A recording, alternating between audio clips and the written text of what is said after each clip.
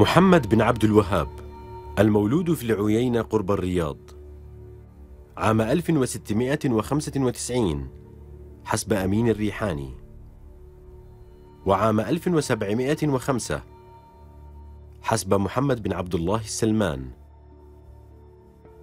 انتشرت الوهابية في الجزيرة العربية فهل كانت دعوة دينية فقط؟ أم كانت سياسية كذلك؟ هل كانت عنوان التجديد والإصلاح؟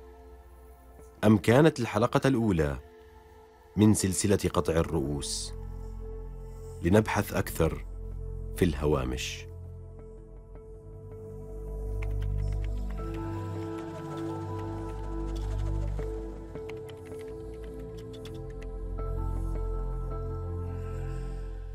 يقول الدكتور محمد بن عبد الله السلمان في كتابه دعوة الشيخ. إن محمد بن عبد الوهاب نشأ على أفكار ابن تيمية وابن قيم الجوزية وأحمد بن حنبل. ما مدى دقة ذلك وما دلالة هذه المرجعيات؟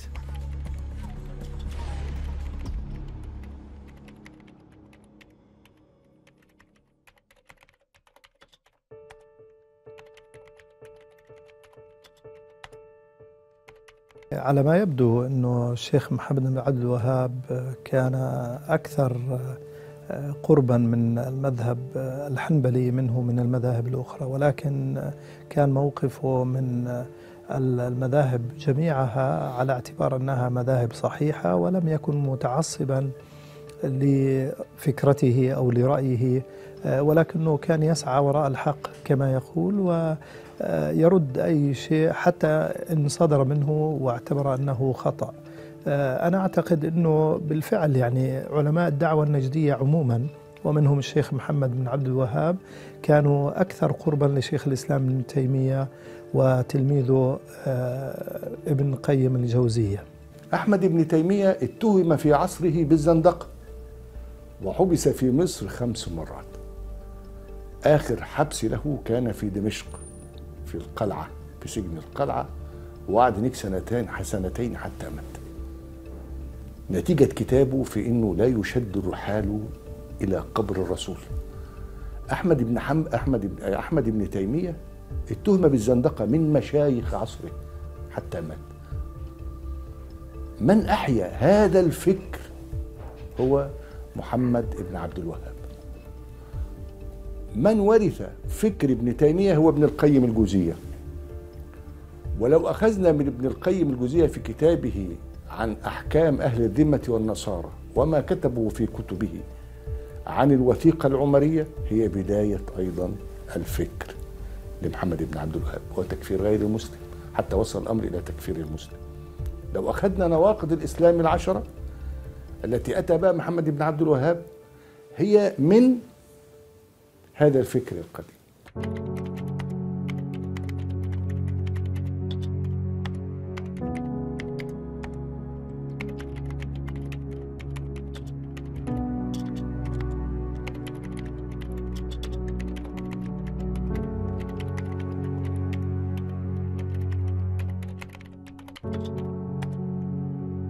هو نما أو كبر في عائلة هم رجال دين. وكانوا جميعا حنابلة. ابن تيمية هو حنبلي بالأساس وابن قيم الجوزية هو تلميذ ابن تيمية. فالسير على المنهج الحنبلي هو ما يدعونه مع الإشارة بأن الكثيرين من أتباع أحمد ابن حنبل يتبرؤون من الدعوة الوهابية كاملة. وهناك عدة مقالات وعدة كتب على على الإنترنت وغير الإنترنت لحنابلة وأتباع لابن تيمية يهاجمون الدعوة الوهابية. حتى أن سليمان أخو محمد أخو محمد بن عبد الوهاب كتب كتبا يرد فيها على أخيه مثلا الصواعق المحرقة وفصل الخطاب في الرد على محمد بن عبد الوهاب. ما نتحدث عنه هنا هو صيرورة. بدأت إذا شئت عند الغزالي وابن حنبل واستمرت عند ابن تيمية وازدادت تجذرا تكفيريا عند محمد بن عبد الوهاب. والبيئة الجاذبة للتكفير لدى الوهابية هي نفس البيئة التي كانت موجودة في أيام ابن تيمية. ف وعلى جبهتين والوهابية على جبهتين. الجبهة الرئيسية الداخلية كانت صراعه مع الحركة الصوفية ابن تيمية واعتبرهم آه، موضوع أهل البدع واعتبرهم حركات ضالة ومضلة وكفر آه، الصوفية على ممارساتهم. ودخل في مواجهات عنيفة مع آه، الشيخ ابن عربي. وهو يعني من أبرز علماء المسلمين في مجال العقل. وكذلك محمد عبد الوهاب دخل في هذا المحور محور التكفير بالحركة الصوفية. مش كحركة صوفية قصده لا. هو المرجعية الدينية المذهبية للدولة العثمانية هي مرجعية آه سنية آه حنفية صوفية. أيضا مما تأثر به محمد بن عبد الوهاب نافع بن الأزرق. نافع بن الأزرق هو خارج عن الخوارج. لما نافع بن الأزرق راح إلى البصرة كان أشد في الخصومة وألد للناس وكون كدولة قتل بها الناس وأفتى بقتل غير المسلم والمسلم وغيره. واتفق محمد عبد الوهاب في كثير مما يراه نافع بن الأزرق منها على سبيل على سبيل المثال الآتي.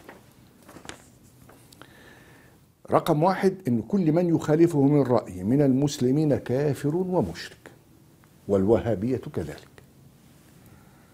الثاني أن أموال مخالفيهم حلال وأعراضهم مباحة لهم وأباح الاثنين محاربة المخالف لرأيهم وسرقة أموالهم. يبقى متفق أيضا بين الأزارقة وبين الوهابي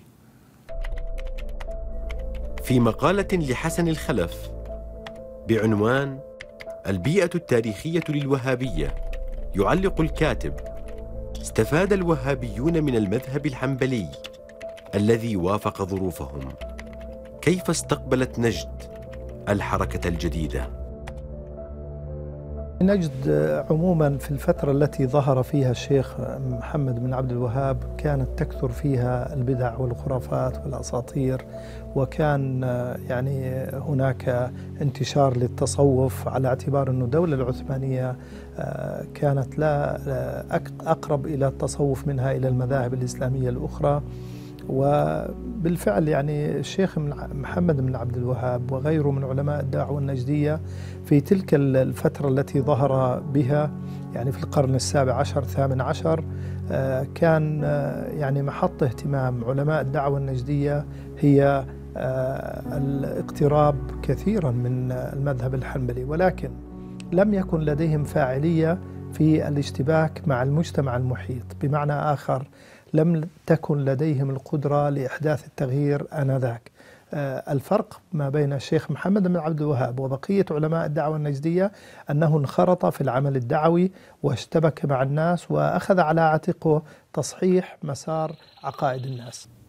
هو المذهب السائد في الصحراء كان المذهب الحنبلي. والمذهب السائد في مصر في ذلك الوقت كان ال... كان فترة من فترات المذهب الإسماعيلي أيام الفاطميين. ثم المذهب ثم الأيوبيين غيروا وجعلوا كل مذهب من المذاهب له حكمه. آه، في حالة الخلاف يعودوا إلى المذهب الشافعي. العراق أيضا كان فيها مذاهب أعتقد الاثنى عشرية وغيره والجعفرية. لكن في الجزيرة العربية بالذات كان المذهب الحنبلي وكان سائدا. ولذلك لما خرج محمد بن عبد الوهاب بفكره القاسي والدامي والذي كفر المسلمين وغير المسلمين وجد لدى أهل النجد قبولا واستحسانا كبيرا جدا في تكفير الغير وفي قتله وفي سلب أمواله والاستيلاء على الماء الأغنام والأسلام. وجد لي لأنه هذه الجماعة قد جلبت على القسوة وعلى البأس وعلى الشدة وعلى القتل كابرا عن كابر. النقل والعقل والبدع الفرقة الناجية أو الطائفة المنصورة. هي عناوين رئيسة في الحركة الوهابية. ماذا تخفي خلفها؟ هذه العناوين الكبرى.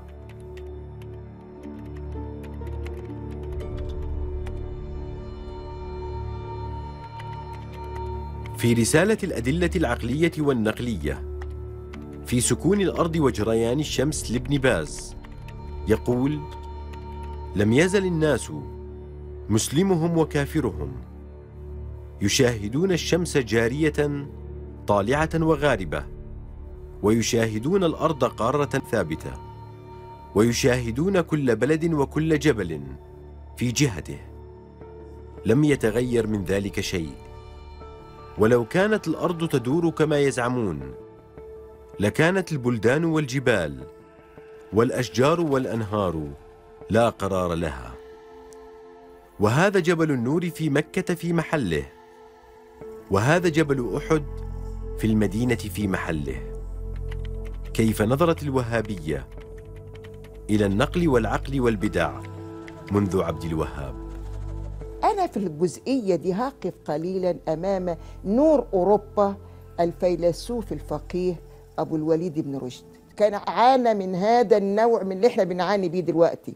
بعد ما سجن ثلاث مرات وفي السجن الأخير جابوا حاكم قرطبة وقعد يسترضيه. فوقف أحد الخبثاء وقال له يا ابن رشد لو أنت عرضت عليك قضية بما تحكم تحكم بالنص أم تحكم بالعقل؟ عايز يورطه قدام الحاكم قرطبة. فقال له عجبي النص نور من الله والعقل نور من الله. والنور لا يطفئ النور. ده اللي لم يستخدم في فترة ابن عبد الوهاب بتاتا بل وقف أمام النص بحذافيره وده اللي أنا أقول لك بكل أسف. المدرسة بتاعة محمد بن عبد الوهاب من أحفاده ومن شيوخه ومن مفتيهم ومن أئمتهم كلهم وقفوا أمام ظاهر النصوص. وده في حد ذاته ضد لب التفكير الإسلامي. الرسول السلام لما يقول لنا عيدان. لكن الرسول لم يحرم أن يكون لنا عشر أعياد. هنا بقى التمسك كويس. أنا مبسوطة بسؤالك ده. يؤكد على أن تشبثهم بتطبيق النصوص حرفيا دون أن يتركوا مساحة للغد. طب ما إحنا ديننا آخر الأديان يا جماعة. وما فيش أنبياء ولا رسل تاني يزودوا لنا. والرسول عليه السلام قال لنا يبعث الله على رأس كل مائة سنة من يجدد دين هذه الأمة. ليه تقفوا أمام ش... يعني شكل النص الخارجي فقط؟ آه هذا حديث لنا عيدان. يا عائشة اتركوهم يفرحوا لما دخل لقاهم بيضربوا بالدف وبيغنوا. لكن صلى الله عليه وسلم لم يقول ويحرم على أمتي أن يكون لهم عيد أبدا. في سلسلة التوجيهات الصادرة عن دار الحديث الخيرية في مكة المكرمة يفرد منهاج خاص عن الفرقة الناجية والطائفة المنصورة فمن هي الفرقة الناجية عند الوهابيين؟ مفهوم الطائفة الناجية أو الفرقة الناجية أو الطائفة المنصورة هذا من يعني مفهوم حاضر بقوة في الأدب السلفي الجهادي وليس فحسب لدى السلفيون الجهاديون وإنما حاضر بقوة في الحديث النبوي. يعني وصف الرسول صلى الله عليه وسلم أنه في آخر الزمان تكون هناك فرقة وصفها مواصفاتها أنه ما أنا عليه وأصحابي وأن هذه الفرقة في بلاد الشام تكون تحديدا. يعني تبدأ من بلاد الشام. وهذه الفرقة لأنه الأمة تختلف على 72 فرقة كلها في النار إلا واحدة. وذكر الفرقة الناجية الناجية من النار بمعنى أنها على المنهج السليم الذي جاء والإسلام الصحيح الذي جاء به الرسول صلى الله عليه وسلم. ومعظم الجماعات المعاصرة تدعي أنها من الفرقة الناجية.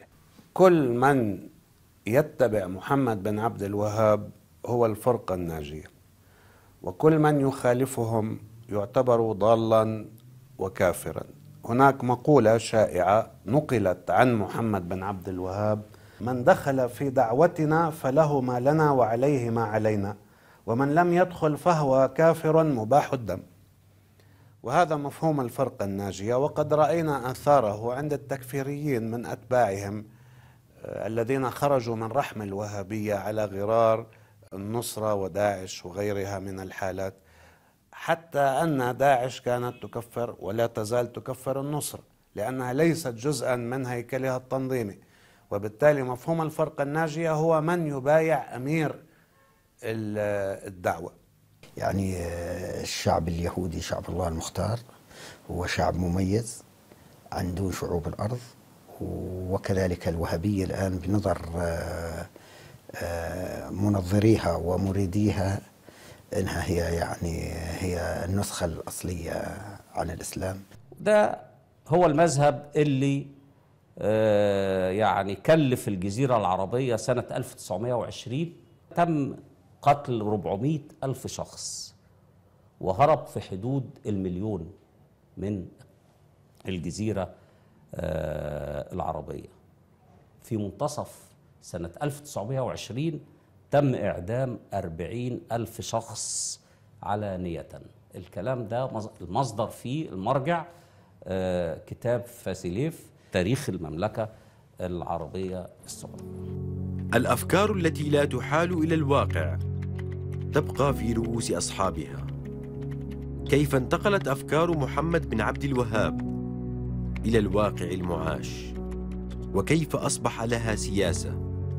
ما موقفها من الدولة العثمانية ومن آل سعود.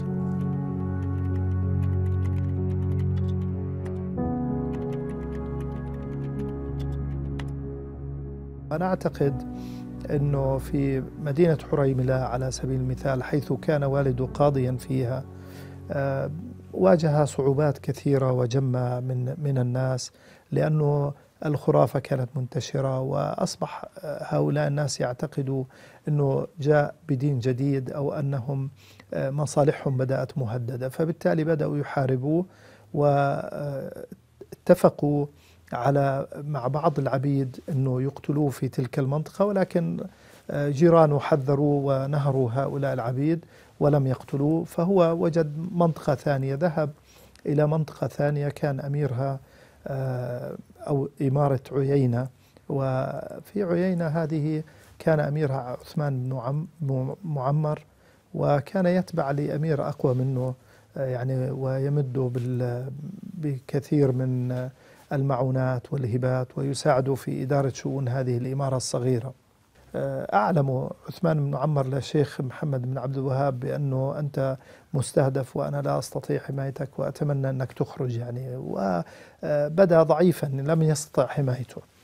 فخرج من هذا هذه القرية أو البلدة إلى الدرعية. وفي الواقع يعني في الدرعية الشيخ محمد بن عبد الوهاب التقى مع بعض إخوانه لمحمد بن سعود الذي كان أمير الدرعية. والتقى مع أحمد بن سويلم والتقى مع إخوانه لمحمد بن سعود وأحبوه واعتبروا أنه منهجه صحيح وعرفوه على آه، الشيخ محمد آه، بن سعود آنذاك أو الأمير محمد بن سعود. وبدأ يعني وعدوا بمناصرته. وبالفعل تمت آه، يعني المزاوجة ما بين السلطة الدينية والسلطة السياسية منذ تلك اللحظة في الدولة السعودية الأولى. أبرما معا اتفاق ميثاق درعية. وهذا الاتفاق كان يلبي حاجتين. كان آه، يلبي رغبة عند محمد بن سعود في إكساب نفوذه استناد نفوذه إلى قوة شرعية وهي الدين. وكان يهدف إلى أنه كمان محمد بن عبد الوهاب لما آه، ذهب إلى الدرعية كان معاه آه، أتباع ومحاربين وهو رأى أنه يستفيد بيهم آه، أيضا. ومحمد بن سعود كان عنده طموح أنه يوسع إمارة نفوذ بني عنزة. قبائل عنزة إلى آه، يعني خارج الدرعية. وبالتالي آه، كان محمد بن عبد الوهاب جه في وقته المناسب. واعتنق محمد بن سعود أفكار محمد بن عبد الوهاب وتلاقيا على الأساس الذي يعني آه، قالوا محمد بن عبد الوهاب قال الدم بالدم والهدم بالهدم. وجدت هذه الدعوة الوهابية ودعوة محمد بن سعود في الدولة السعودية الأولى استحسانا لدى أهل نجد لأنه طبيعة الصحراء بنظامها لم يكن هناك وسيلة للرزق أو للتكسب أو الاسترزاق سوى الغزو وسوى القتل وسوى سفك الدماء وسوى سلب أموال الغير. ولذلك لم يكن هناك صعوبة في أنه عبد العزيز آل سعود أن يكون أكثر من جيش من إخوان الوهابية وغيره. حتى أنه لما طلب منهم فيما بعد من إخوان الوهابية أن يكفوا عن قتل الناس وألا يثخنوا في قتل الناس خرجوا عليه وحدثت موقعة السبلة سنة 1929 لأنهم لا يرضوا على الإطلاق بغير القتل وسفك الدماء. برز تيار داخل الوهابية. آه، إحنا بنسميهم آه، بالسياسة أصحاب الرؤوس آه، الساخنة. وهؤلاء كانوا رافضين رفضا قاطعا تفاهمات آه، عبد العزيز آل سعود مع بريطانيا في موضوع تقسيم الحدود. كانوا بدهم يحتلوا المنطقة كامل وتمكن إنه يعني يلم مجموعة من القبائل والعشائر حوله لكن عبد العزيز بن سعود لم يسكت عن هذا الموقف وقرر يعني تفكيك هذا لكن لم يتم القضاء عليه وقصقصت جنحانه وإضعافه إلى درجة أنه لا يقوى على المواجهة.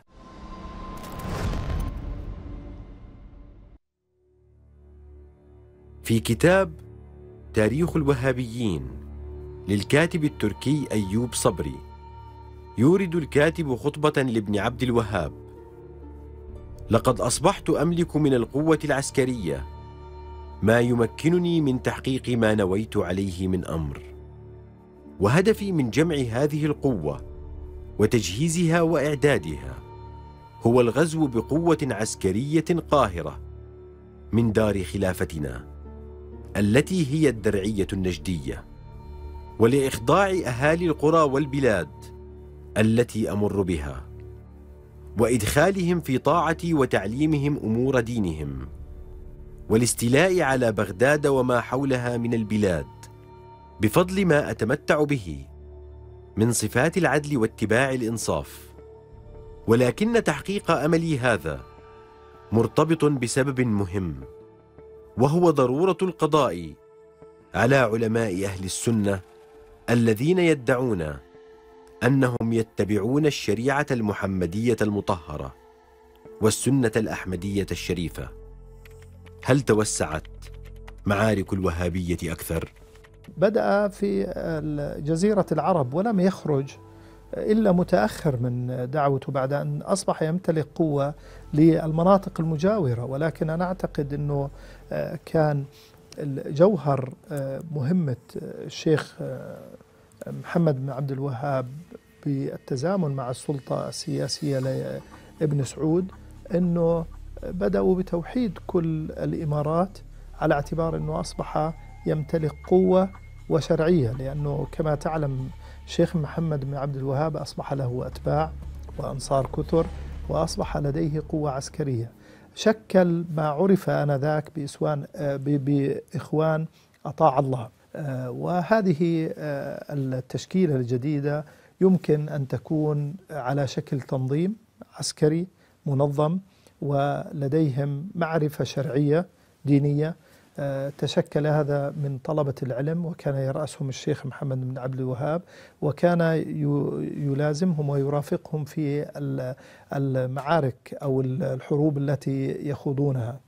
وتطورت قدراتهم العسكرية بحيث أنه ذاع صيتهم في كل جزيرة العرب حتى في اليمن. كان يرغب من منظور أنه كما هدم قباب الأولياء والصالحين في كل ربوع الجزيرة كان عايز يعمل هذا في قبر الرسول عليه السلام لكنه حذر تحذيرا جامدا وشديدا فانتهى يعني ابتعد.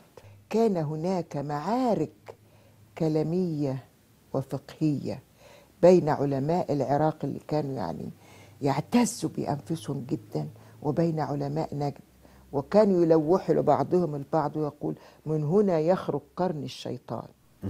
ده العراقيين فيردوا علماء نجد يقول لا ده من هنا يخرج قرن الشيطان وكانوا يعني يتراشقوا.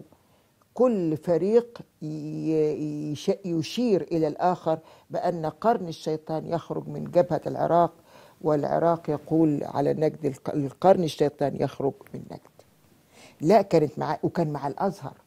علماء الأزهر لما منعوا الكسوة وطلعوا الفتاوى ضدها ومحاولة والتفكير في هدم آه، مشهد الرسول عليه الصلاة والسلام كانت هناك يعني حروب طاحنة. بتحريض من الإنجليز الذين أمدوهم بالمال والسلاح وذلك لأخذ البلاد من الخليفة وحكمها حسب مذهبهم وإزالة ما أحدثته المذاهب الإسلامية الأخرى غير مذهب بالقوة وحد السيف. فأغار على الكويت سنة 1788 ثم واصل تقدم للشمال حيث حاصروا بغداد.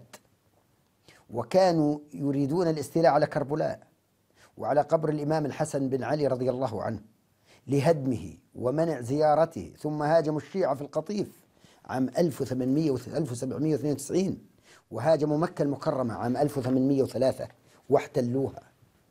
ثم في عام 1804 آه، سقطت المدينة المنورة في أيديهم فخربوا القباب الضخمة التي تظلل قبر الرسول صلى الله عليه وسلم وجردوها من جميع النفائس وبعد أن استولوا على الحجاز ساروا نحو الشام. وقاربوا حمص في سنة 1810 وفي سنة 1810 هاجموا دمشق مرة أخرى كما هاجموا النجف وقد دافعت دمشق عن نفسها. دفاعا مجيدا كما تدافع الآن دمشق عن عروبة الأمة العربية. فكرة الغزو وسلب أموال الغير ملهاش حدود من الممكن أن يتم التأثير عليهم من قبل أعدائه أيضا. يعني من يدفع أكثر يكون له الولاء. فطرح عليه أنه يتم تشكيل مجموعات قتالية من الوهابيين بعد إعادة تأهيلهم وتظبيطهم إلى حد كبير. فعملوا مناطق اسمها الهجر. المناطق ديت يتم استقطاب فيها الوهابيين المقاتلين يتم بناء فكرهم ال- الإيماني على عقيدة التوحيد وعقيدة القيام بقتال المشركين وغيره بس ضبط إيقاعهم شوية. لكنهم قد تمادوا في الغلو وتمادوا في التطرف حتى أنهم أصبحوا عبئا على الحاكم اللي هو الملك عبد العزيز. وأصبحت السيطرة عليهم مسألة صعبة جدا. المطوعون الذين جاءوا بهم لتدريسهم. خلوهم أكثر تشددا وأكثر بأسا وأكثر عنفا وأكثر تطرفا وإيغالا في القتل وإيغالا في التطرف أيضا. حتى أنهم كانوا يقيمون الحدود على الناس في الشارع خروجا عن الحاكم وخروجا عن المألوف. يذكر الجاسوس البريطاني هامفورد في مذكراته لقد وجدت في محمد بن عبد الوهاب ضالتي المنشودة فإن تحرره وطموحه وتبرمه من مشايخ عصره ورأيه المستقل الذي لا يهتم حتى بالخلفاء الأربعة أمام ما يفهمه هو من القرآن والسنة كان أكبر نقاط الضعف التي كنت أتمكن أن أتسلل منها إلى نفسه. هل ثمة علاقة جمعت محمد بن عبد الوهاب بالإنجليز؟ كيف تحرك عدو الإنجليز من مصر آنذاك؟ محمد علي باشا. أنا باعتقادي أن الدول الكبرى آنذاك الاستعمارية الكبرى مثل بريطانيا وفرنسا استشعرت بخطر الدعوة ال- الوهابية وبخاصة آه، جماعة إخوان أطاع الله أو طاع الله. اللي هم القوة العسكرية التي كان يتزعمها الشيخ محمد بن عبد الوهاب. على اعتبار أنه هم كانوا آه، يواجهوا الدولة العثمانية آنذاك وأن خروج هذا الشيخ يعني ضد الصوفية وضد الحاكم اللي بيمثل آه، الدولة العثمانية آنذاك. لذلك آه، حاول محمد علي باشا أنه يحد توسعها وتمددها. المعركة الرئيسية في القرن التاسع عشر في هذا الجزء من العالم كانت تدور بين محمد علي باشا من جهة وبين بالمرستون الذي كان وزير خارجية بريطانيا والذي أصبح فيما بعد رئيس وزرائها آه، من جهة أخرى. الحرب كانت حربا مصرية عربية مقابل بريطانيا وتحالفاتها. محمد علي باشا تمكن من تأسيس مشروع نهضوي وضع الأساس المادي للمشروع الديمقراطي العربي. قام ببناء دولة مركزية امتدت من السودان ومصر وصولا إلى كل المشرق العربي وحطم الوهابية وعاصمتها الدرعية. وردا على ذلك حاول الإنجليز أن يبنوا جسورا وتحالفات مع كل من كان يناهض محمد علي باشا وهذا حدث في بلاد الشام مع الكثير من زعماء الطوائف والعشائر وحدث في الجزيرة العربية.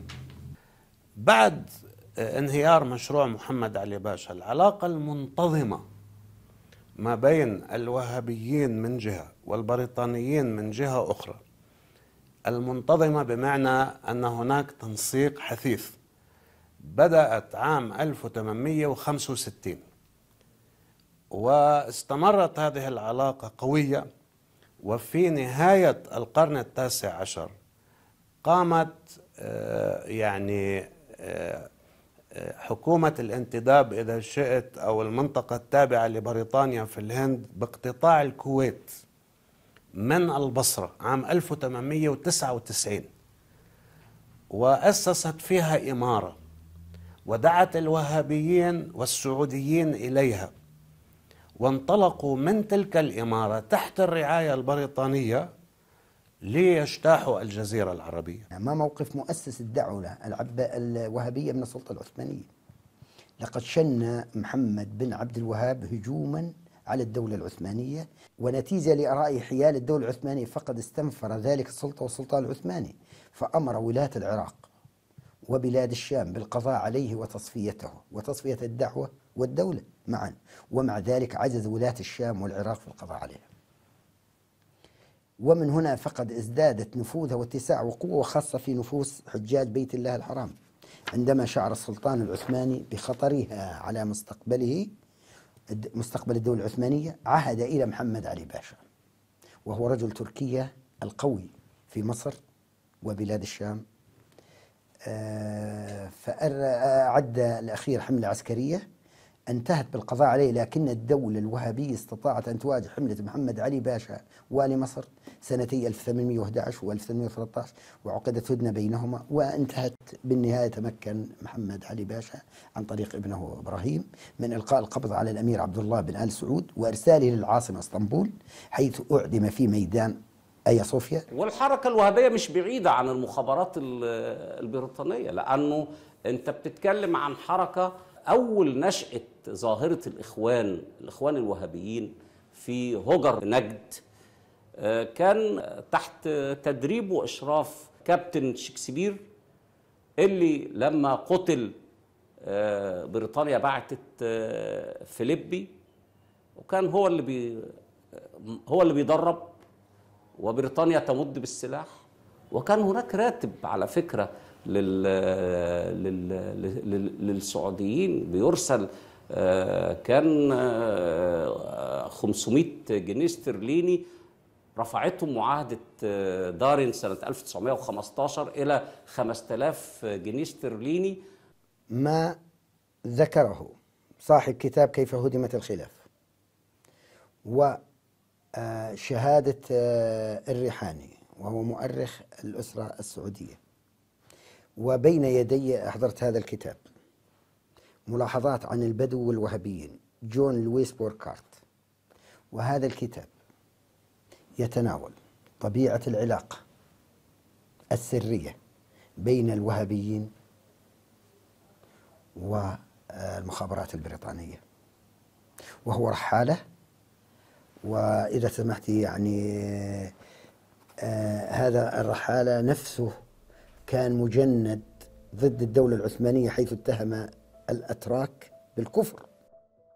في كتاب مساءلة الدولة السعودية أصوات إسلامية من الجيل الجديد للكاتبة السعودية مضاوي الرشيد. تقول الكاتبة وفي النصف الثاني من القرن العشرين وخصوصا العقود الأخيرة.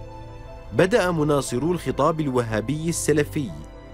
يجذبون من دائرة أكثر اتساعا.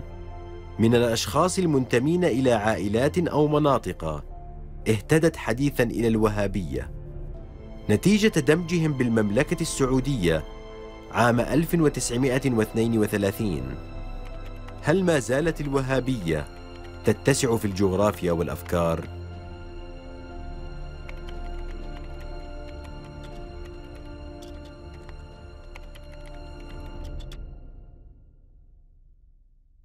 يعني الحركة الوهابية تعتبر أن الرسالة التي تحملها هي رسالة الإسلام. فبالتالي حدود انتشارها هو العالم أكثر على اعتبار أن العالم سواء مسلمين وغير مسلمين هم أمة استجابة وأنهم هم يمثلون أمة الدعوة. فبالتالي واجب عليهم أن يدعوا الآخر آه، إلى الإسلام والبلدان الإسلامية واجب عليهم توحيدهم وتوحيد البلدان وكذلك تصحيح عقائد الناس. والهدف من خروج حركة إخوان أطاع الله إلى الأردن وغيرها من البلدان هي لتصحيح عقائد الناس ومحاربة البدع والخرافات وكذلك لتوحيد البلدان الإسلامية مع الدولة السعودية الحديثة. لو شفنا في بداية إقامة الدولة السعودية الثالثة حين آه، نزح أو جاء آه، عبد العزيز بن عبد الرحمن بن تركي من من من من من عند آل الصباح وسيطر على الرياض. الجغرافية المنطقة كانت كالآتي. منطقة نجد إلى الدرعية والرياض دي كانت منطقة. المنطقة الثانية اللي هي آل الرشيد اللي هي في الشمال قليلا اللي هي حائل العاصمة بتاعتها ثم الأشراف الساده الأشراف اللي كانوا واخدين الحجاز. تبدأ من الطائف ومكة وجدة حتى تبوك في الشمال. طبعا لما عاد عبد العزيز وأعاد الرياض مرة أخرى إلى سلطاني وكانت موجودة في الدولة السعودية الثانية أيام تركي واصلا كانت في الأولى أيام عبد العزيز حصل اتفاق ما بين الجماعة الإنجليز وعبد العزيز في اتفاقيه اسمها العقير اتفقوا مع بعض على إنه آه، يسيبوا له هذه المنطقة الجغرافية بتاعته وزقوه على انه هو يخش على آل الرشيد في المنطقة ديت في حائل ويستولي عليه. لأن بدأت المضايقات تتم ما بين الإنجليز من ناحية وما بين آل الرشيد من ناحية أخرى. لكن اخوان الوهابية كان في دماغهم منطقة الحجاز لأنه منطقة الحجاز هي المنطقة اللي فيها كل الثروات الممكنة اللي بيسيطر عليها الأشراف وكان الشريف حسين في الوقت ده هو أمير هذه المنطقة. طبعا السيطرة على الحجاز وعلى قوافل الحج ده الهاجس الرئيسي لهذه المملكة الحديثة أو الجديدة. ولا بد من السيطرة عليها لأنه عدم السيطرة على هذه المنطقة وعدم احتلالها كأنك أنت يا أبو زيد ما غزيت فبدأت المناوشات. في البداية كان متوجس خيفة من الإنجليز. لكن في نفس الوقت لابد من السيطرة على هذه المنطقة. الشريف حسين اللي كان موجود في مكة أعلن نفسه خليفة للمسلمين فلم يوافق ذلك فكر عبد العزيز ورفضه فأكثر من مرة. وبدأت المناوشات. بدأت باحتلاله للطائف ودخول الطائف. ودخول الطائف كان آه، عمل عسكري الفكرة منه أن يجوع مكة. لأنه مكة كانت بتعتمد في أكلها وفي شرابها على حدائق الغناء اللي موجودة في الطائف.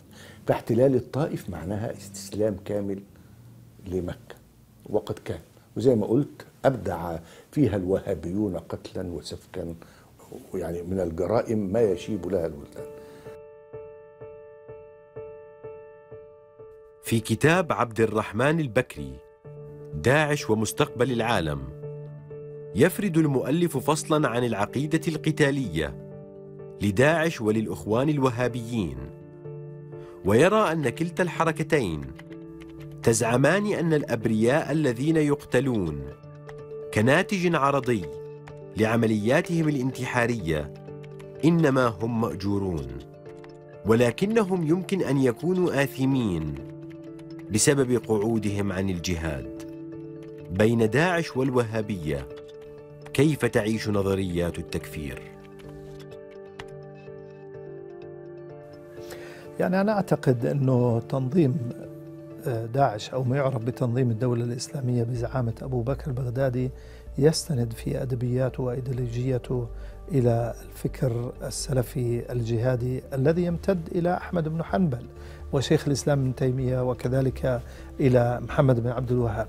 يعني إحدى كتب آه، شيخ محمد بن عبد الوهاب في شرح التوحيد فتح التوحيد يعني يدرس في المعاهد الشرعية في لدى داعش. ولكن أنا أعتقد هناك خلافات جوهرية ما بين آه، حركة أو دعوة الشيخ محمد بن الوهاب وداعش على اعتبار أنه حركة الشيخ بن عبد الوهاب أعطت آه، لا تجيز الخروج على الحاكم من ناحية وأعطت ولاية الأمر لآل سعود فبالتالي لا تسعى للوصول للحكم بطريقة آه، ما وإنما هي تعتبر نفسها جزء من منظومة الحكم ولا آه، تسعى ولم تسعى في يوم من الأيام للخروج على الحاكم في حين أن آه، داعش أو تنظيم الدولة الإسلامية يشكك في شرعية نظم الحكم العربية ومنها السعودية وغيرها من النظم ويعتبرها نظم مرتدة لا تطبق الشريعة. فبالتالي المقارنة من ناحية سياسية ومن ناحية عملياتية ما بين داعش والوهابية أنا أعتقد أنه مجافي للحقيقة لأنه هناك خلافات جوهرية كبيرة. ربما في مسائل الإيمان والاعتقاد يقترب كثيرا ولكن في مسائل الأيديولوجيا والفكر يختلف كثيرا. الحقيقة أن العلاقة بين الوهابية وداعش هي علاقة الأم والابنة. الأم ليست الابنة ولكن لا تستطيع أن تتنصل من حقيقة أنها أنجبتها. فنعم السعودية والسعودية التي تتبنى العقيدة الوهابية رسميا ربما تقول داعش ليست منا ولكن الحاضنة التي انتجت داعش هي الحاضنة الوهابية وحاضنة البترودولار. سبق أن أشرت في البداية أن أبن حنبل ليس ابن تيمية وأن ابن تيمية ليس محمد بن عبد الوهاب. ولكن هناك نسق فكري مترابط كحلقات سلسلة الواحدة منها تودي للأخرى. ولا نستطيع أن نفهم ابن تيمية من دون العودة إلى أحمد بن حنبل. ولكن هل يعني ذلك أن كل أحكام ابن تيمية كان سيوافق عليها أحمد بن حنبل؟ ليس بالضرورة. كذلك الأمر بالنسبة للعلاقة بين ابن تيمية وبين محمد بن عبد الوهاب. هناك صيرورة تشدد البحث عن إيمان أنقى وأصفى. وهذه الصيرورة التي اعتمدت على رفض التأويل رفض العقل الالتزام بظاهر النص هي التي أودت بنا إلى داعش. هناك من أطلق العنان لمارد وهذا المارد هو تعطيل العقل. هذا المارد هو الذي أنتج هذه الحالة التأكيد على الشكليات وتكفير من يرفض هذا الشكل من التأويل الديني الذي يركز على الشكليات. فيه رسالة لابن عثيمين في هذا الأمر إنه هو بينصح المسلم بأنه لا يتبع الفئات الضالة الآتية. وخد بقى كل الفئات حتى الأشاعرة. ولذلك الخلاف اللي تم ما بين آه، الأزهر في تعريفه لأهل السنة والجماعة إنه أغضب الوهابية. ما هم الوهابية بيعتبروا ان الأشاعرة كفر. والمذهب والأزهر على على المذهب على على الفكر الأشعري. فهم يكفرون كل الملل والمذاهب والنحل وطبعا غير المسلمين ده شيء ده الأئمة الأربعة متفقين على كفر غير المسلم. لكن الوهابية زادت الأمر إنه تكفير من هو غير وهابي. هل آه، الأحداث اللي جرت آه، بال 29 في السبلة آه، انتهت؟ الجواب لا. من عام 1929 لعام 1979 تقريبا آه، آه، 50 عاما آه، بدأت الوهابية تنشط بعد تحالفها بعد خمسينات القرن الماضي وسبعينات القرن الماضي. وأصبحت يعني آه، أصبح يعني في علاقات آه، حميمة بين جماعة الأخوان المسلمين الوهابية لكن تمخضت أكثر وأكثر للتحالف الذي تم إبرامه آه، لموضوع الاستعداد لحرب آه، أفغانستان ومحاصرة الاتحاد السوفيتي المعركة اللي جرت عام 1980 لكن معركة العتيبي اللي جرت سنة 79 هي كانت تحالف من من التيار القطبي آه، السروري. ومحاولتهم يعني تحقيق أهداف استراتيجية وإحداث عملية زلزال في بنية النظام السعودي. والقضاء عليه قضاء مبرما لكن عملية العتيبي فشلت فشلا ذريعا. ولكن الدولة السعودية استفادت من هذه العملية وصلت لقناعة أن هذه التنظيمات السرية والباطنية التي تهدد أمن واستقرار المملكة العربية السعودية لا يمكن الخلاص منها. لا بد من تصديرها إلى الخارج.